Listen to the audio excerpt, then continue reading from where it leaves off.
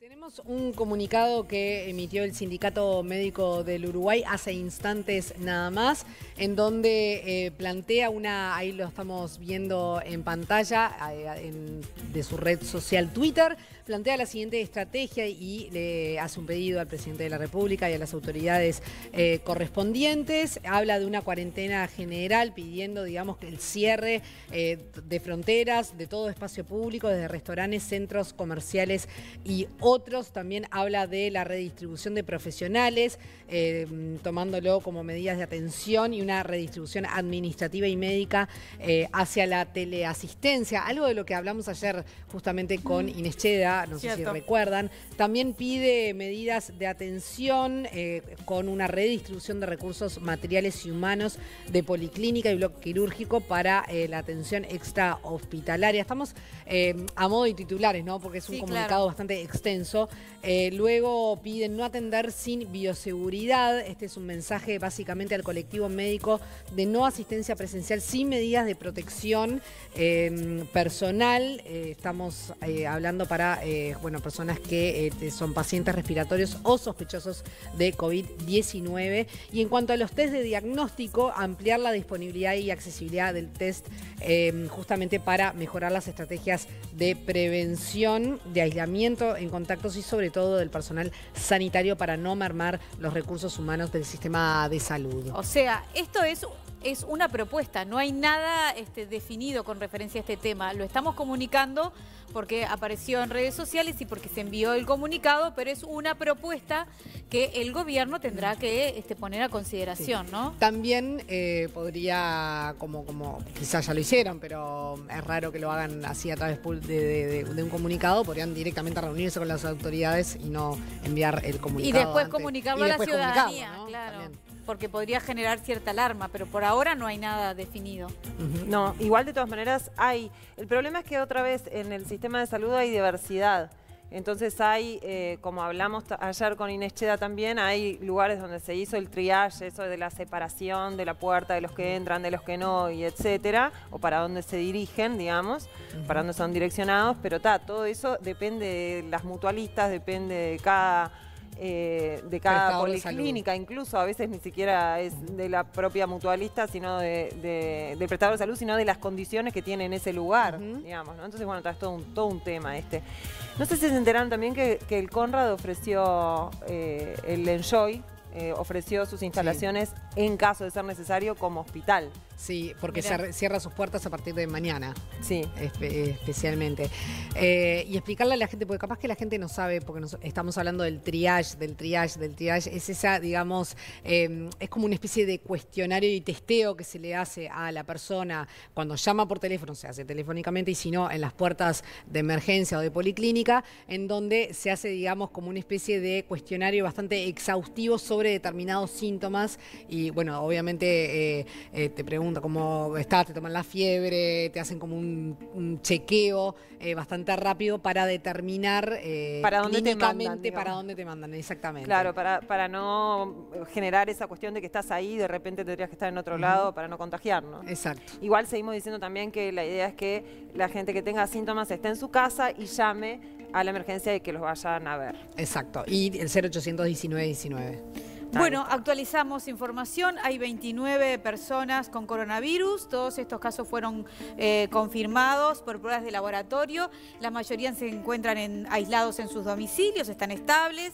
Eh, ahora hubo un aumento repentino ayer, pero esto se debió a que el gobierno obligó a laboratorios privados a que reportasen, eh, digamos, el número de positivos al Ministerio de Salud Pública. Por eso pasamos de 8 a 29, ¿no? Rápidamente. Sí, igual también sabemos que ahora que se están haciendo los testeos probablemente siga creciendo exponencialmente, ¿no? Eso, es lo que pasa en todos lados, que, que de golpe pasás de 5 a 10 a 15 a 44, no sé. Ahí está. Es así, ¿no? Bueno, por otro lado, hablando de las fronteras, el gobierno decretó el cierre de fronteras con Argentina. Esta medida afecta tanto al tráfico aéreo como el terrestre y también al fluvial. Mientras dure, solo podrán ingresar los pasajeros uruguayos y extranjeros que residen en Uruguay y la excepción, obviamente, también es para la carga de mercadería. Eso fue pedido justamente por los exportadores, porque si no es un problema de comercio ¿no? que se genera. Y para la ayuda sanitaria.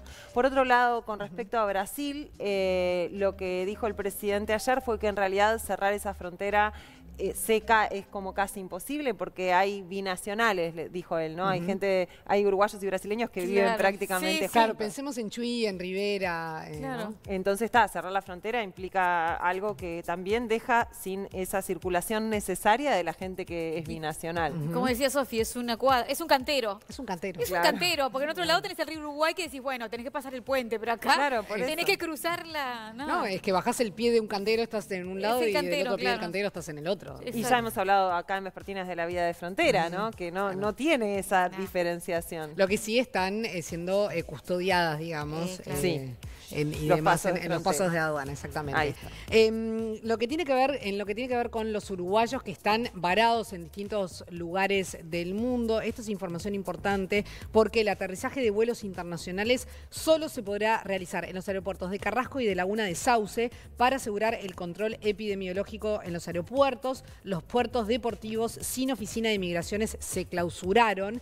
Em, y es importante eh, como información para todos quienes tienen familiares en el exterior, que, les puedan eh, contar que en la página del Ministerio de Relaciones Exteriores se dispuso un mapa, digamos, del mundo, ahí lo estamos viendo, en donde el ministerio eh, pone cada uno de esos, de esos globitos que ven, son eh, los consulados de eh, nuestro país en los distintos países y distintas ciudades dentro mismo de un país. Si uno cliquea en, ese, como está viendo ahí, aparecen todos los números de contacto y las formas de contactarse con ese consulado, principalmente para esos uruguayos que están, digamos, eh, en el mundo. Eh, también lo que anunció el ministerio es que hay atención 24 horas, por eso es importante que quienes estén afuera, quienes tengan familiares afuera, miren esta, este mapa interactivo, puedan ir a su consulado más cercano, llamar a su consulado más cercano y ahí les van a atender 24 horas y les van a indicar cómo tienen que hacer para regresar al país. Ahí está. Eh, hay un caso en Perú, ¿no? Unos uruguayos recién apareció en...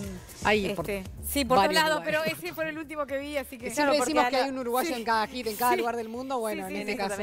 No, porque también a la cuestión de lo que, lo que dice Uruguay con respecto a que tienen que retornar, pasa que en los lugares donde están también hay coronavirus y también hay medidas que son de esos lugares. Exacto. Entonces se juntan las dos cosas y se complica. Y no hay tantas frecuencias, obviamente. Qué lío, Dios mío. Bueno, el call center, ¿se acuerda, por si recién se sintoniza, hoy lo hablamos al principio del programa, que se dispuso un call center, un 0800 1919, que en las últimas horas atendió, yo les dije, más de 17 mil personas. Exactamente han sido 17 mil 86, digo personas, porque son llamadas, este, en, eh, bueno, justamente para atender eh, estas dudas. La novedad es que la página web del Sistema Nacional de Emergencias se, eh, se implementó un chat para que, quienes tienen también dudas sobre el coronavirus, así que es otra forma de poder vincularnos y poder intercambiar este, datos, consultas, exacto, sobre, sobre este tema. Bueno, ¿y qué pasa por el Estado uruguayo, no? Que tiene tantos ah, empleados. Eh, bueno, pasa que está cada uno con sus ideas, básicamente. Eh, todos los entes y, todas las dependencias del Estado tienen su propio criterio a esta altura. Entonces hay algunos que, por ejemplo, no, no han tomado medidas de ningún tipo. Hay otros que están haciendo eh, horario restringido de cuatro horas. nada, es lo que, lo, que, lo que van decidiendo cada uno de los organismos. Eh, por ejemplo, OCE, con respecto a la atención al público, resolvió cerrar los centros de atención al cliente en todo el país. Eso hizo OCE, pero al mismo tiempo del sindicato de OCE se están quejando de que no toma medidas para los empleados directamente, ¿no? Y solicitan realizar todos los trámites comerciales operativos a través de la página web o en forma telefónica. O sea que OCE ya no tiene atención al público, avisamos esto porque es importante para los que tengan temas con OCE, ¿verdad? Lo mismo resolvió la Intendencia de Montevideo y la medida de la Intendencia se aplicará desde mañana miércoles. Eh, bueno, y hoy como todos los días va a haber una conferencia de prensa, eh, obviamente va a ser cerca en el horario de los informativos de Telenoche, alrededor de las 19 horas. En realidad eh, van cambiando los horarios porque eh, a veces hay reuniones en torre ejecutiva que llevan más tiempo de lo que, de lo que eh, se estiman. Entonces, a veces pasa, no, sé si les pasó ayer, que estábamos desde las 19 esperando así atentamente a ver qué era lo que se nos comunicaba y resulta que la conferencia de prensa fue cerca de las 20, si no estoy equivocada. Sí, lo mismo pasó el viernes, no, el viernes no, el, sí, el, viernes. El viernes también. O el domingo. El bueno, también, el domingo, bueno, todos los días se están atrasando, obviamente, y, es por eso. Es justamente, bueno, están bastante atareados, pero lo importante es que todos sepamos que alrededor de las 19 horas en Telenoche van a tener la cobertura, el reporte diario, digamos, de eh, cómo estamos con respecto al coronavirus, cuáles son las novedades del día, y es importante que todos estemos informados para tomar nuestros recaudos. Así que. Chicas, ¿qué pasa con las elecciones municipales, donde todos deberíamos ir a votar? Se Falta igual, es en mayo. Ya sé, pero se puso sobre la mesa. Gandini creo que fue uno de los que habló el tema, porque bueno, no es un tema menor, es un tema donde salimos todos nos encontramos todos. Ayer el constitucionalista, ahí está el tuit, mirá, que hablabas vos. Eh, es imposible realizar elecciones en las que se movilizan más de dos millones de personas sin aumentar el contagio. Esto dice Jorge Gandini. En breve habrá que encontrar la interpretación constitucional que permita postergar las elecciones y prorrogar los mandatos de intendentes, ediles y alcaldes. Y, un, poco lo que eh, decía el constitucionalista Martín Rizo, que eh, decía, bueno, en realidad esto la constitución no lo prevé. Sí, acá Enrique Rubio, este, del otro lado, digamos, del espectro político del Frente Amplio, dice, elecciones departamentales y municipales.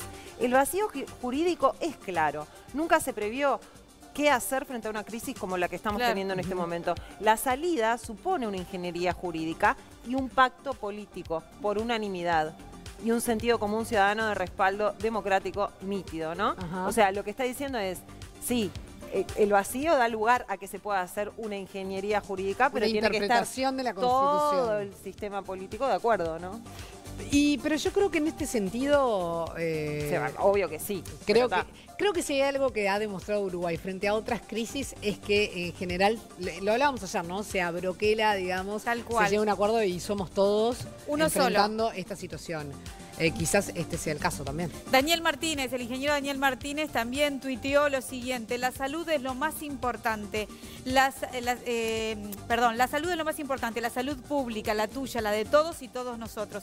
Personalmente y con la recomendación del equipo técnico que me acompaña, creemos que posponer las elecciones contribuye al combate de la pandemia, sin especular fue contundente también con referencia a este tema. Hoy justamente el, expresidente Julio María Sanguinetti estuvo, fue a, digamos, a la Corte Electoral eh, justamente a, ver sobre este tema, ¿no? Eh, y bueno, habrá que esperar a ver qué, resolución se toma. En la región también ha habido cambios, ¿no? Por esto. ¿Vos hablabas hoy de, Chile, puede ser? O... En Chile están con el tema de la constitución, de que, de que tienen que hacer un plebiscito o un referéndum, no sé bien, un plebiscito supongo que es este para hacer una nueva constitución, que fue algo de los reclamos que finalmente cristalizaron de la gente en las calles, ¿no? Fue uno de los reclamos más grandes. Pero eh, la suspendieron o sea, suspendieron eso. Bueno, acá mismo la ley de urgente consideración no se entró al Parlamento. Claro. Y eso tiene que ver, no lo hablamos ayer, eh, pero esto fue una noticia de ayer de, que la dio Beatriz Argimón. Esto tiene que ver con que es imposible una ley de urgente consideración justamente tratarla en velocidad, ¿no? Obvio. Y sí, lo que pasa que en realidad... Eh, frente a esto, las urgencias son otras. Exactamente. Totalmente. Acá nos aclara Majo Pereira desde la producción que en realidad el Sistema Nacional de Emergencia se reúne a las 18 horas, siempre, todos los días. Y por eso es que los tiempos de la, de la conferencia posterior son unos u otros. Y sí.